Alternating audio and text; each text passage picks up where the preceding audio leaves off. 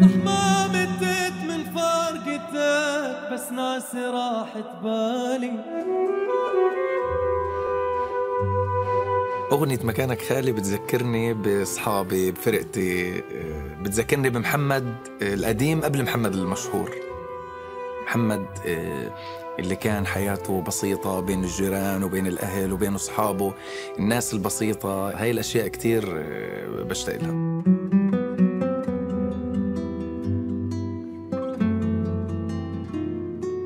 وين كان يغني محمد القديم بكل مكان البداية الأولى اللي عملت فرقة هيك صغيرة مع أصدقائي وبلشنا نغني بالأعراس. يعني بالنسبة لي حفلات الشارع زي ما بنحكيها بالمصطلح البلدي عنا آه، كتير استفدت منها.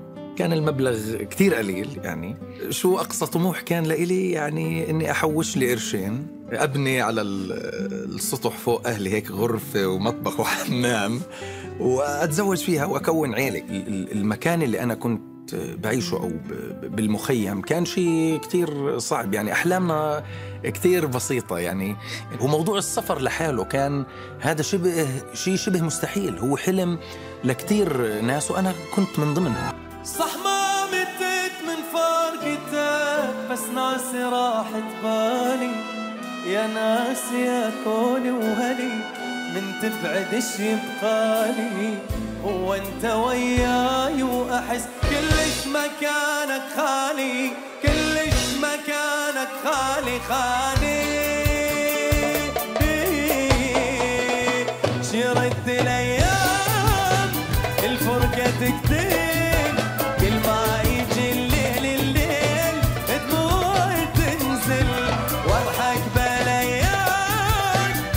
Jaya.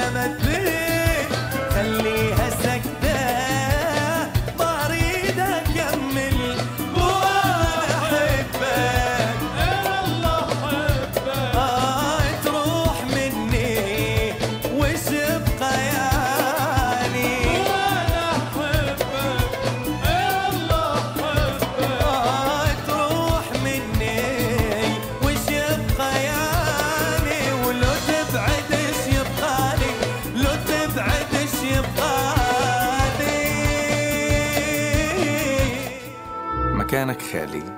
هاي الأغنية يعني من أهم الأغاني اللي أنا عملتها بمسيرتي الفنية. كانت نقلة نوعية بالنسبة لإلي. أكثر أغنية لاقت نجاح آه، طول مسيرتي. جابت 150 مليون على يوتيوب وانشهرت بشكل كتير آه، عجيب.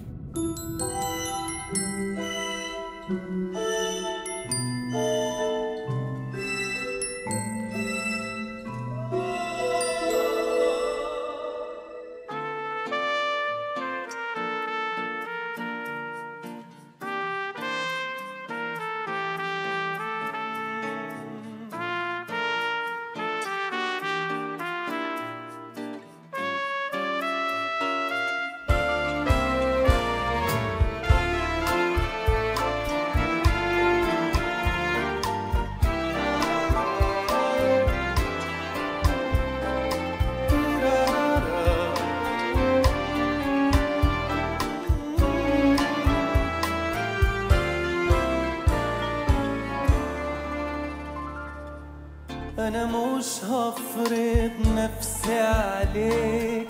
عايزك تعرف إن دي آخر مرة أنا هسأل فيها. عايز تسأل أهلا بيك. صار لي أربع سنين بروح كتير على لندن. تعرفت على زوجتي ريم صدفة يعني. شفتها مع أخوها.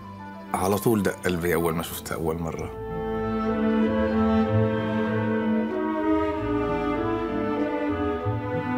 أغنية كرمالك أنت هاي من الأغاني اللي كتير أنا بحبها. أنا غنيتها للمسلسل عروس بيروت وبحسها بتنطبق علي. يعني أنا عريس السنة زي ما بقولوا علاقتي في زوجتي ريم زي علاقة فارس وسرية. بس يعني مش بالضبط يعني بدون الحماة ومشاكل الحماة وهاي الأشياء.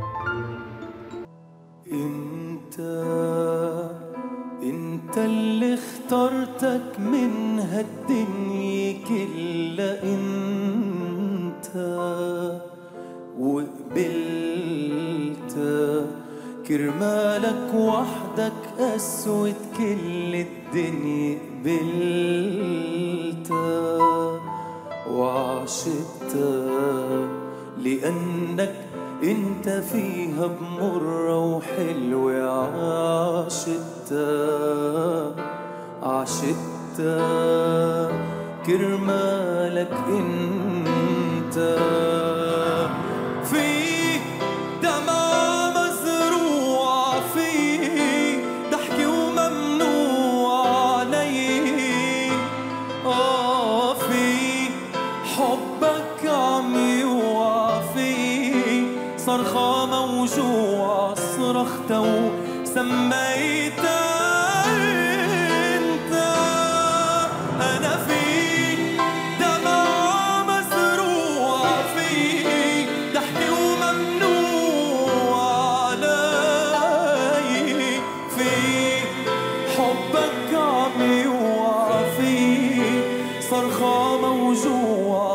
موجوعة صرخت وسميتها أنت. كل ده كان ليه؟ هاي من أكتر الأغاني اللي أنا بحبها بحياتي. كنت حافظها من وأنا عمري 8 سنين من أجمل ما غنى عبد الوهاب. طبعا عبد الوهاب هو أسطورة يعني.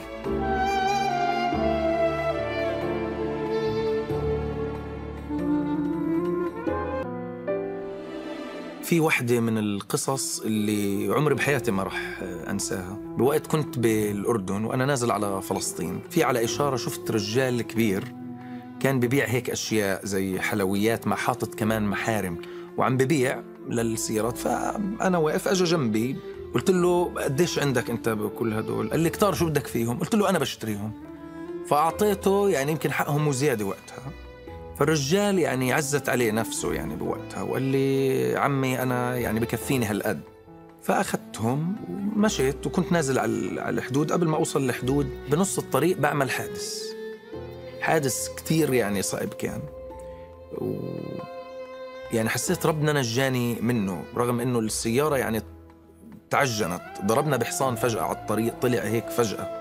ما لقيناه إلا هو. أنا شفت حصان فوق السيارة. وحسيت إنه يعني إنه بقول يمكن يا ربي أنا يمكن عشان عملت هيك إنه نجيتني من مصيبة أو الله أعلم شو بده يصير فيي كان. مش أحكي لك بعد مو زين بعدك حالي. عايش على قيد الحزن لياك يا الحب مالي. فراقك كسر قلبي كسر ما أعرف إيش سوالي. ما أعرف إيش سوالي إيش سوالي؟